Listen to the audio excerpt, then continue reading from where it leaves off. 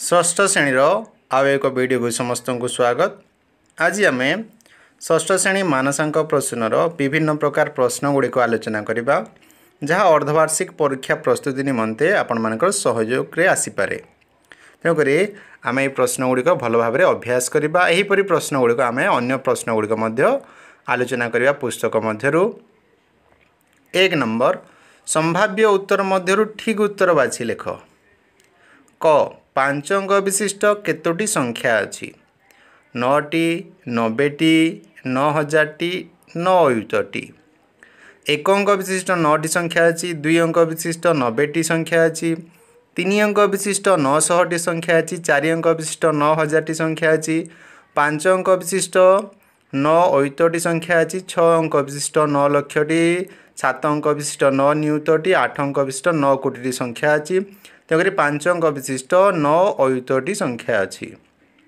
ଦୁଇଶହ ଚଉଷଠିଟି ମିଠେଇକୁ ଦୁଇ ଜଣ ପିଲାଙ୍କ ମଧ୍ୟରେ ସର୍ବାଧିକ କେତେ ପ୍ରକାରେ ବଣ୍ଟା ଯାଇପାରିବ?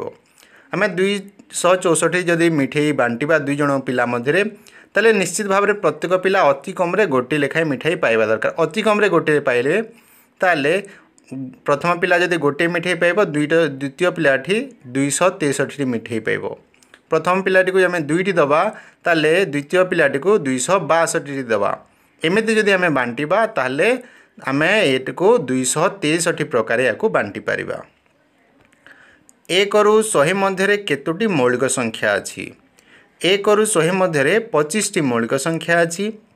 ଏକରୁ ପଚାଶ ମଧ୍ୟରେ ପନ୍ଦରଟି ମୌଳିକ ସଂଖ୍ୟା ଅଛି ଏବଂ ଏକରୁ ଶହେ ମଧ୍ୟରେ ପଚିଶଟି ମୌଳିକ ସଂଖ୍ୟା ଅଛି। ମୌଳିକ ସଂଖ୍ୟା। ଯେଉଁ ସଂଖ୍ୟାମାନଙ୍କର ଗୁଣନୀୟକ କେବଳ ଦୁଇଟି ଥାଏ ସେମାନଙ୍କୁ ମୌଳିକ ସଂଖ୍ୟା କୁହାଯାଏ। ସେହିପରି ସଂଖ୍ୟା ଏକରୁ ଶହେ ମଧ୍ୟରେ ପଚିଶଟି ଅଛି। ଦୁଇଟି କ୍ରମିକ ସଂଖ୍ୟାର ଗସାଗୁ କେତେ? ଏକ ଦୁଇ ତିନି ଚାରି। ଦୁଇଟି କ୍ରମିକ ସଂଖ୍ୟା ଯଦି ହେଇଥିବେ ପାଞ୍ଚ ଛଅ ସେମାନଙ୍କର ଗସାଗୁ ଏକ ହେବ। ନଅ ଦଶ ଯଦି ହେଇଥିବେ ସେମାନଙ୍କର ଗସାଗୁ ଏକ ହେବ। ଅନେଶ୍ୱତ ଶହେ ଯଦି ହେବ ସେମାନଙ୍କର ଗସାଗୁ ମଧ୍ୟ ଏକ ହେବ। ଏକ ହଜାର ଏକ ଏକ ହଜାର ଦୁଇ ହେଲେ ସେମାନେ କ୍ରମିକ ସଂଖ୍ୟା ସେମାନଙ୍କର ଗସାଗୁ ମଧ୍ୟ ଏକ ହେବ। ତେବେ ଦୁଇଟି କ୍ରମିକ ସଂଖ୍ୟାର ଗସାଗୁ ହେଉଛି ଏକ। ସମାନୁପାତ କେତୋଟି ପଦକୁ ନେଇ ଗଠିତ? ଏକ ଦୁଇ ତିନି ଚାରି। ସମାନୁପାତ ଦୁଇଟି ଅନୁପାତକୁ ନେଇକି ଗଠିତ ଅଟେ ଏବଂ ଗୋଟିଏ ଅନୁପାତରେ ଦୁଇଟି ପଦ ଥାଏ। ତେଣୁକରି ସମାନୁପାତରେ ଚାରୋଟି ପଦ ଥାଏ। ସମାନୁପାତ ଯେହେତୁ ଦୁଇଟି ଅନୁପାତକୁ ନେଇ ଗଠିତ ଅଟେ ଦୁଇଟିର ଅନୁପାତ ଯଦି ସମାନ ହେବ ତାହେଲେ ଉଭୟକୁ ସମାନୁପାତରେ ଅଛନ୍ତି ବୋଲି କୁହାଯିବ। ତାହେଲେ ସମାନୁପାତରେ ଚାରୋଟି ପଦ ଥାଏ। ଠିକ୍ ବା ଭୁଲ ଚିହ୍ନ ଦିଅ। କ ଚାରି ହଜାର ନିକଟବର୍ତ୍ତୀ ଛଅଟି ସଂଖ୍ୟାର ଯୋଗଫଳ ଚବିଶ ହଜାର ଚାରି ହଜାର ନିକଟବର୍ତ୍ତୀ ଛଅଟି ସଂଖ୍ୟାର ଯୋଗଫଳ ଚବିଶ ହଜାର ଆମେ ନିକଟବର୍ତ୍ତୀ ଛଅଟି ସଂଖ୍ୟା ବାହାର କଲେ ଗୁଣନ ଛଅ କରିବା ତାହେଲେ ଉତ୍ତର ଠିକ୍ ଅଛି ଚବିଶ ହଜାର ହେବ। ଦୁଇଟି କ୍ରମିକ ସଂଖ୍ୟାର ଲସାଗୁ ସଂଖ୍ୟା ଦ୍ୱୟର ଗୁଣଫଳ। ଦୁଇଟି କ୍ରମିକ ସଂଖ୍ୟାର ଲସାଗୁ ସଂଖ୍ୟା ଦ୍ୱୟର ଗୁଣଫଳ ଏହା ଠିକ୍ ଅଟେ ଦୁଇଟି କ୍ରମିକ ସଂଖ୍ୟାର ଲସାଗୁ ସଂଖ୍ୟା ଦ୍ୱୟର ଗୁଣଫଳ। ପାଞ୍ଚ ଟଙ୍କା ଓ ଦଶ ଟଙ୍କାର ଅନୁପାତ ଏକ ଅନୁପାତ ଦୁଇ। ପାଞ୍ଚ ଟଙ୍କା ଓ ଏକ ଦଶ ଟଙ୍କାର ଅନୁପାତ ଏକ ଅନୁପାତ ଦୁଇ। ଏଇଟା ଠିକ୍ ଅଛି ଉଭୟ ପାଞ୍ଚ ଦ୍ୱାରା ଭାଗ କଲେ ଲଘିଷ୍ଠ କଲେ ଏକ ଓ ଦୁଇ ହେବ। ଏକୋଇଶ ଠାରୁ ଏକତିରିଶ ପର୍ଯ୍ୟନ୍ତ ସଂଖ୍ୟାର ଗସାଗୁ ଏକ। ଏକୋଇଶ ଠାରୁ ଏକତିରିଶ ପର୍ଯ୍ୟନ୍ତ ସଂଖ୍ୟାର ଗସାଗୁ ଏକ ଏକୋଇଶରୁ ଏକତିରିଶ ପର୍ଯ୍ୟନ୍ତ କ୍ରମିକ ସଂଖ୍ୟା ଅଛନ୍ତି ଏକତିରିଶ ପର୍ଯ୍ୟନ୍ତ ତେଣୁକରି ସେମାନଙ୍କର ଗସାଗୁ ଏକ ହିଁ ହେବ। ଏକ ହଜାର ଏକଶହ ଏଗାର ଗୁଣନ ଏକ ହଜାର ଏକଶହ ଏଗାର ସମାନ ବାର ହଜାର ତିନିଶହ ଏକୋଇଶ। ଏକ ଦୁଇ ତିନି ଦୁଇ ଏକ ଏଇଟା ଭୁଲ ଅଛି ଯେହେତୁ ଚାରିଟି ଲେଖାଏଁ ଏକ ଅଛି ଏକ ଦୁଇ ତିନି ଚାରି ତିନି ଦୁଇ ଏକ ହେବା କଥା ଏହାର ଉତ୍ତର।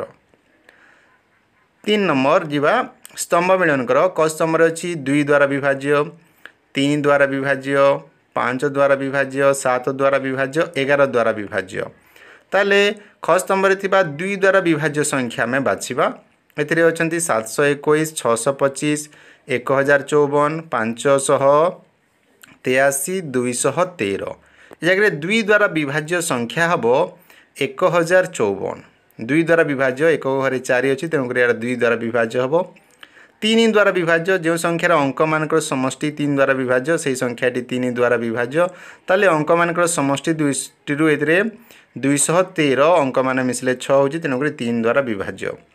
ପାଞ୍ଚ ଦ୍ୱାରା ବିଭାଜ୍ୟ ଯେଉଁ ସଂଖ୍ୟାର ଏକକ ଅଙ୍କ ପାଞ୍ଚ ବା ଶୂନ ଥାଏ ସେହି ସଂଖ୍ୟା ପାଞ୍ଚ ଦ୍ୱାରା ବିଭାଜ୍ୟ ତେଣୁକରି ଏ ଜାଗାରେ ଛଅଶହ ପଚିଶ ସଂଖ୍ୟାଟି ପାଞ୍ଚ ଦ୍ୱାରା ବିଭାଜ୍ୟ ହେବ।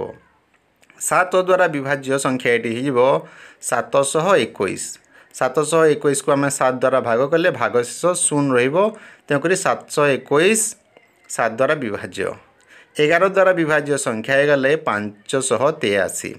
ପାଞ୍ଚଶହ ତେୟାଅଶୀର ଯୁଗ୍ମ ସ୍ଥାନୀୟ ଓ ଅଯୁଗ୍ମ ସ୍ଥାନୀୟ ଅଙ୍କମାନଙ୍କର ସମଷ୍ଟିର ଅନ୍ତରଫଳ ବାହାର କଲେ ଶୂନ ହେବ। ତେଣୁକରି ପାଞ୍ଚଶହ ତେୟାଅଶୀ ଏଗାର ଦ୍ୱାରା ବିଭାଜ୍ୟ ଅଟେ। ଚାରି ନମ୍ବର ଦେଖିବା ଅଲଗା ସଂଖ୍ୟା ବାଛି ଲେଖ।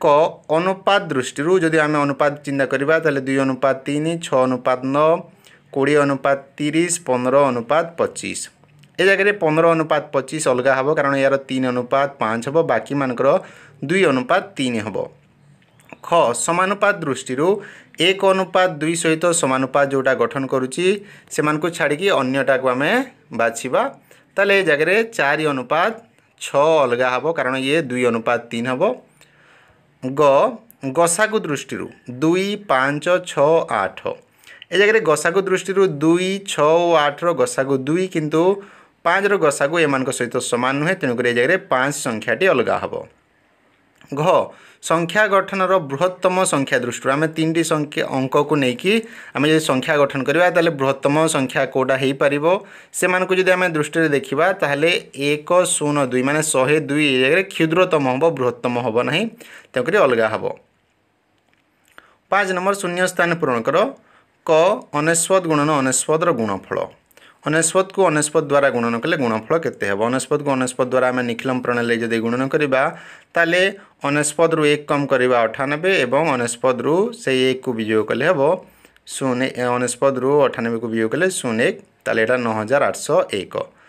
ତେଇଶ ଓ ତେୟାଳିଶ ମଧ୍ୟରେ ଡ୍ୟାସ୍ଟି ଗଣନ ସଂଖ୍ୟା ଅଛି। ତେଇଶ ତେୟାଳିଶ ମଧ୍ୟରେ ଯଦି ଆମେ ବାହାର କରିବା ତାହେଲେ ତେୟାଳିଶରୁ ତେଇଶ ବିଯୋଗ କରିକି ପୁଣି ତା'ଠାରୁ ଏକ କମ୍ କରିବା। ତାହେଲେ ଏଇଟା ହେବ ଉଣେଇଶଟି ଗଣନ ସଂଖ୍ୟା ଅଛି। କ୍ଷୁଦ୍ରତମ ଅଯୁଗ୍ମ ଯୌଗିକ ସଂଖ୍ୟା ଡ୍ୟାସ୍।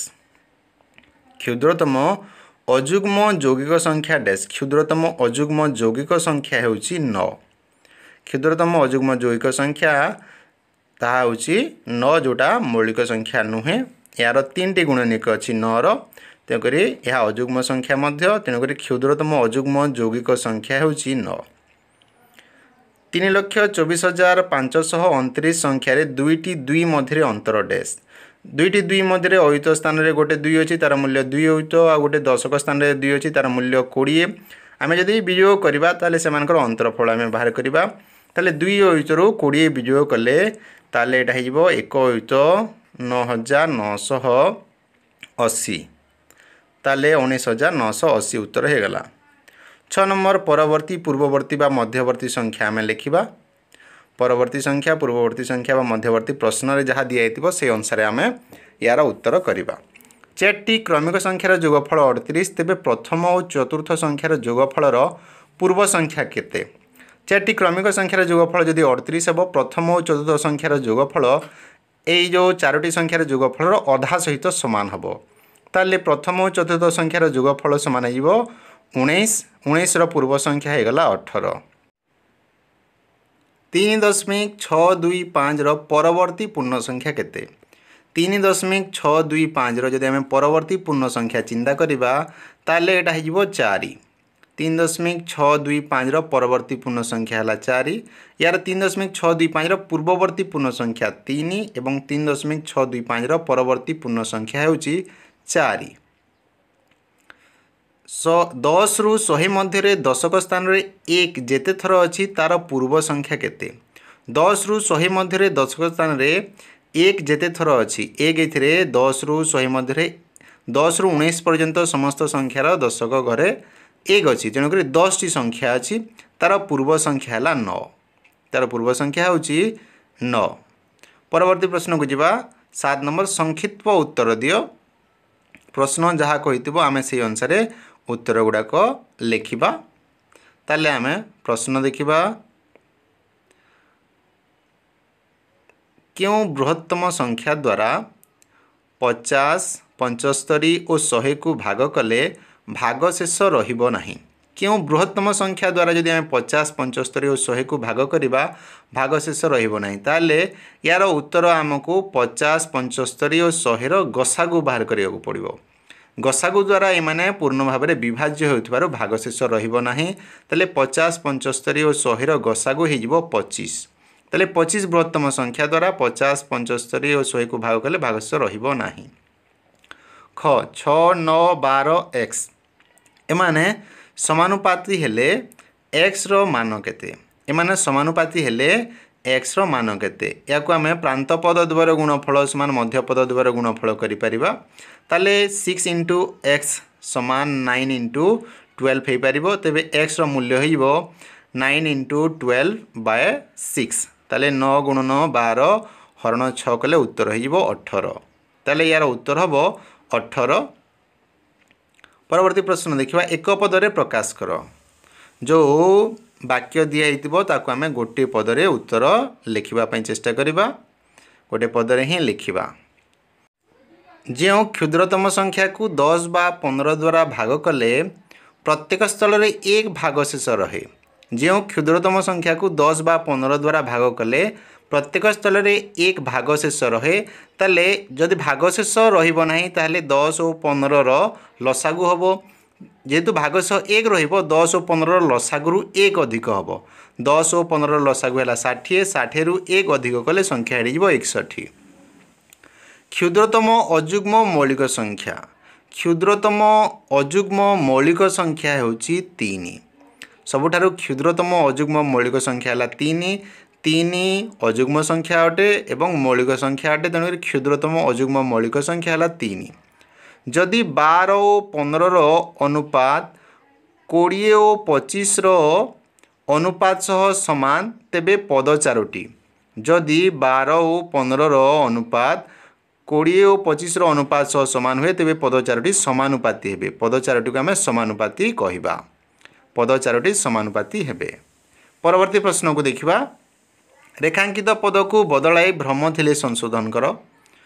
ଦୁଇଶହ କିଗ୍ରା ଓ ଚାଳିଶ କିଗ୍ରାର ଅନୁପାତ ଚାରି ଅନୁପାତ ଏକ ଦୁଇଶହ କିଗ୍ରା ଓ ଚାଳିଶ କିଗ୍ରାର ଅନୁପାତ ଚାରି ଅନୁପାତ ଏକ ଚାରି ଅନୁପାତ ଏକରେ ଗାର ଦିଆହେଇଛି ଚାରି ଅନୁପାତ ଏକ ଭୁଲ ହେଉଛି ଏଇଟା ପାଞ୍ଚ ଅନୁପାତ ଏକ ହେବ ଆମେ ଯଦି କରିବା ଶହେର ନିକଟତମ ଏକାନବେ ଓ ଶହେ ଚାରି ସଂଖ୍ୟା ଦ୍ୱୟର ଗସାଗୁ ସତର।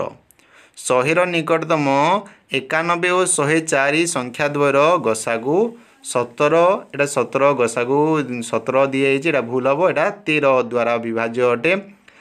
ଏକାନବେ ଓ ଶହେ ଚାରି ତେଣୁକରି ଗସାଗୁ ତେର ହେବ। ଦୁଇଟି ସଂଖ୍ୟାର ଗୁଣଫଳ ଅଠରଶହ ପଞ୍ଚସ୍ତରୀ ଓ ଗସାଗୁ ପଚିଶ ହେଲେ ସଂଖ୍ୟା ଦ୍ୱୟର ଲସାଗୁ ପଞ୍ଚସ୍ତରୀ। ଲସାଗୁ ବାହାର କରିବା ପାଇଁ ଆମେ ଅଠରଶହ ପଞ୍ଚସ୍ତରୀ ହରଣ ପଚିଶ କରିବା ତାହେଲେ ଉତ୍ତର ପଞ୍ଚସ୍ତରୀ ବାହାରିବ ଏହାର ଉତ୍ତର ଠିକ୍ ଅଛି ଏଇଟା ପଞ୍ଚସ୍ତରୀ ଉତ୍ତର ହେବ। ଯଦି ଭିଡ଼ିଓଟି ଆପଣମାନଙ୍କୁ ଭଲ ଲାଗିଲା ତାହେଲେ ନିଶ୍ଚିତ ଭାବରେ ଏହି ଚ୍ୟାନେଲକୁ ସବସ୍କ୍ରାଇବ୍ କରନ୍ତୁ ଯାହାର ଆବଶ୍ୟକତା ମନେ କରୁଛନ୍ତି ନିଶ୍ଚିତ ଭାବରେ ଏହି ଭିଡ଼ିଓଟିକୁ ସେମାନଙ୍କୁ ସେୟାର କରନ୍ତୁ ଯାହାଦ୍ୱାରା ସେମାନେ ମଧ୍ୟ ଏହି ଅର୍ଦ୍ଧବାର୍ଷିକ ପରୀକ୍ଷାର ପ୍ରଶ୍ନ ଗୁଡ଼ିକର ଅଭ୍ୟାସ କରିପାରିବେ ଭିଡ଼ିଓଟି ଆରମ୍ଭରୁ ଶେଷ ପର୍ଯ୍ୟନ୍ତ ଦେଖିଥିବାରୁ ସମସ୍ତଙ୍କୁ ବହୁତ ବହୁତ ଧନ୍ୟବାଦ